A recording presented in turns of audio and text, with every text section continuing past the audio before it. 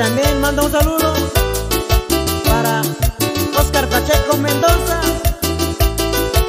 que se encuentra en Castroville, California.